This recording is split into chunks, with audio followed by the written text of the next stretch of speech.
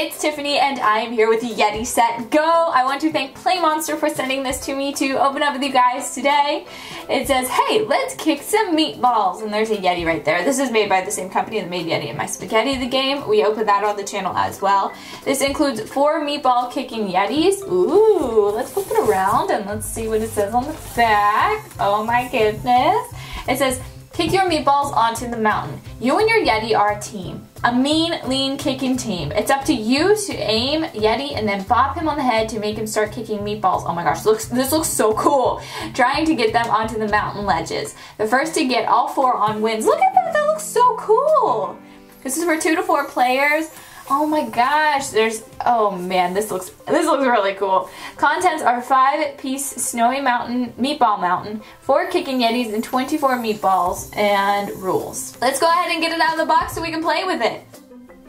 Here is Meatball Mountain all ready to go. This did need assembly. This came in four pieces. This one, this one, this one, and this one. You had the flag, a piece underneath that keeps it all together, and of course the Yetis. So that wasn't difficult at all to put together. I do have the rules here. There's the object, the setup, um, the contents, and so on. I think, oh, and then here's play on the back. And here are two rules you really have to know. You want to land meatballs on all four lower ledges of your quadrant of Meatball Mountain or be the first to land a meatball at the very top of the ledge by the flag. right up there. Oh, I lost a meatball already. Um, and then if you and your Yeti happen to kick a meatball hard and it lands on someone else's quadrant, it counts for them. So don't do that.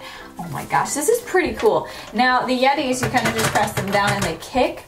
So you have this guy right here. I'm going to kind of rotate them. You have this guy right here.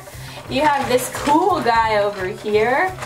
And then you have this guy right here. I think I'm going to be the cool guy. So what happens is this is a lot, if you ask me, it's a lot like Hungry Hungry Hippos in a way, but it's so unique. It has a nice little twist on it. Um, it Oh, hold on, let's adjust that. it obviously is completely different but the same as, you know, you kick, kick, kick, kick. Oh no, there goes a meatball. I'll have to go get that.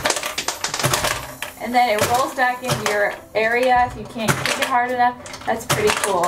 Um, but I can't get it very high. Oh! Did I put it? Oh, I put it in someone else's quadrant. Oh my gosh. Oh my gosh, I'm just kicking him to other people. All right, let's see.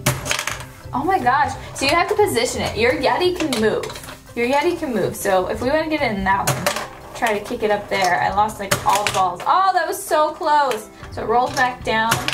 Oh my gosh, I'm gonna take other people's meatballs because we're they're not playing right now. Oh, I keep getting in that one. Oh no, no, don't roll away, no. Meatballs on the loose. Oh my gosh. Yeah, don't play this on a surface or you can lose your meatballs. oh, yes. Okay, one more. I just need one more. Come on. Yes, we did it. We got them all. We didn't get the hardest one though, but again, they said that's difficult. So what you want to do is you need to line up your Yeti. Like you need to, oh, I got it in somebody else's. But there's just, it's just crazy. I really, really like this. It's super fun and you can play with four people and they're just, they're just all kicking. So the, the key is you got to line your Yeti up. So this thing moves. You just have to line it up perfectly. Oh my gosh, you guys will have to let me know what you think of this game in the comments down below. I think this is my new favorite game, to be quite honest. Thank you all so much for watching. Be sure to subscribe to join the chicken coop, and I will see you next time.